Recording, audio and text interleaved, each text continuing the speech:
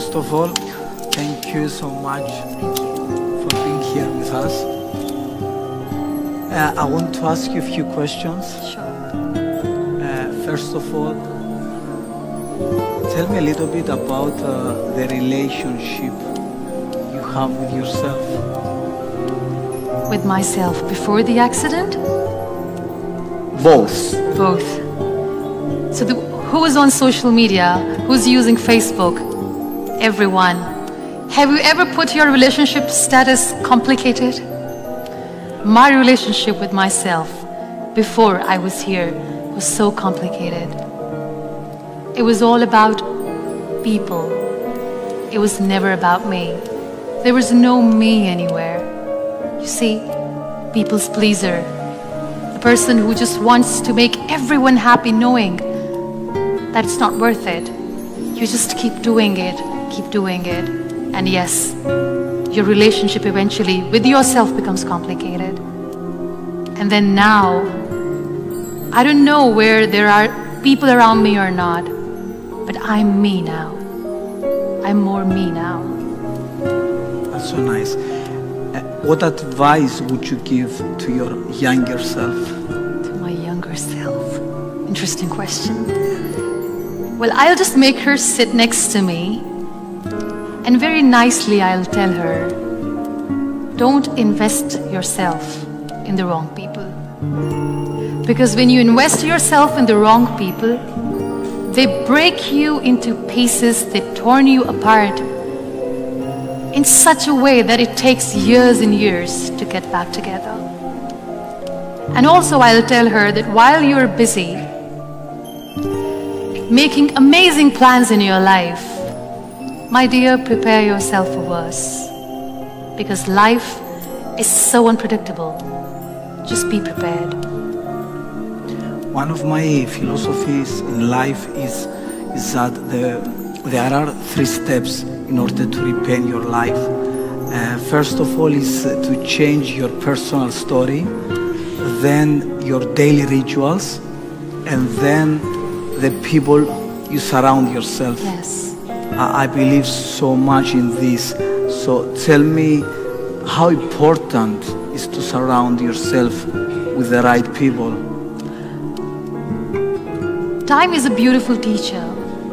It filters out the extras from your life, including people. Being in the wheelchair in 12 years, I've met three categories of people. Number one category is of the people who see you in the misery, in pain, and they back off. They're like, we're gone, we can't handle. I respect them for their honesty. Then there is another category of the people who are not there with you, but they just want to cling on with you all the time. They're so weak that they try to stay in your shadow. Liberate yourself from those people because they are toxic for you. Don't let them cling on to you because they're not there to help you. Liberate them. Liberate yourself. And then there is third category. These beautiful people who are so selfless that when they see you in pain, they stand next to you. They've got your back. They don't share the limelight. They are just there for you. These are your people.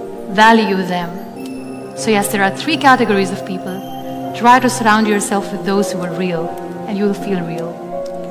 What, what about jealousy? What about? About jealousy. But jealousy. Yeah. I pity them. I pity those who see their failure in your success. You know, these critics, they were once dreamers. They just wanted to achieve something that today you have. But they gave up and they started becoming jealous of you. Pray for them because they're in a lot of pain. One of the things that I see usually when I do therapy, a lot of women, uh, they prefer to stay in a miserable relationship instead of get out. Yeah. The fear of being alone is greater. So, would you give some advice uh, to, to, the, to these women? We all tend to invest ourselves in relationships. And as I said, if you are doing something right with the wrong person, nothing good will turn out.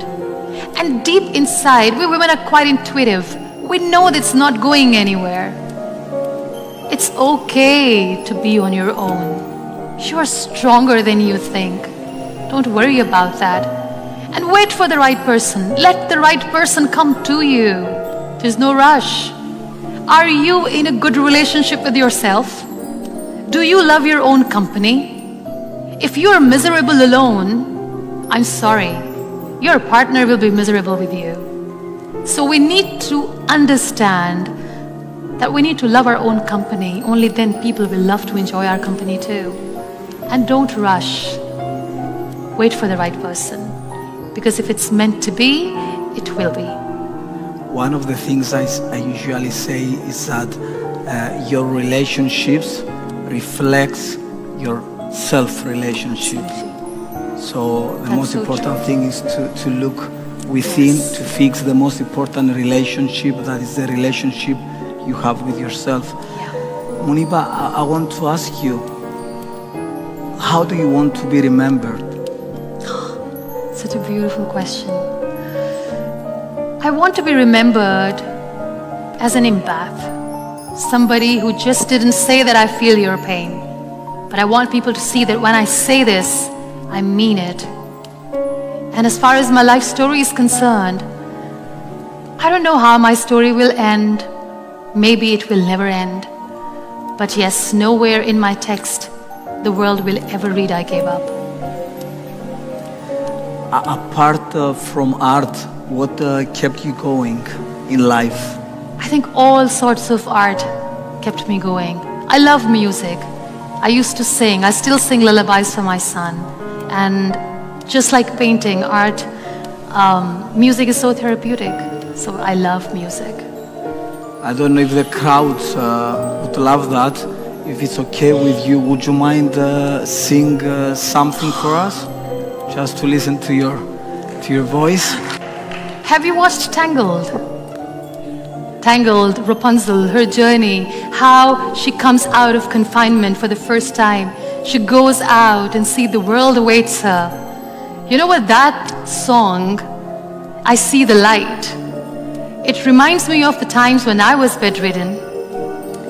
And I used to hear the kids playing outside. I couldn't see. I used to hear thunderclap, I couldn't see the storms. I used to hear rain falling on the ground. I couldn't see it, and I missed it. But when I sat in the wheelchair, I stepped out, went close to the nature, everything changed. So this beautiful song, I See the Light, probably something I'd like to sing. All those days watching from the windows, all those years outside looking in, all that time never even knowing just how blind I've been. Now I'm here blinking in the starlight. Now I'm here, suddenly I see. Standing here, it's all so clear. I'm where I'm meant to be. And at last I see the light. And it's like the fog has lifted. And at last I see the light. Mhm. The sky is blue and it's warm and real and bright.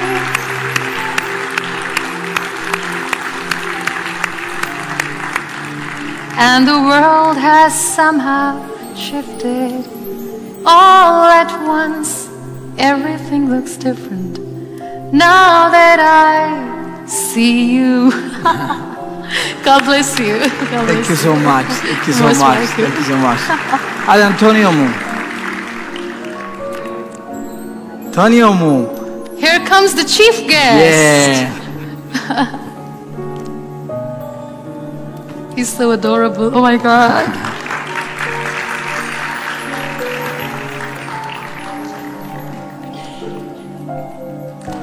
Aww. Can I give a hug? Yeah.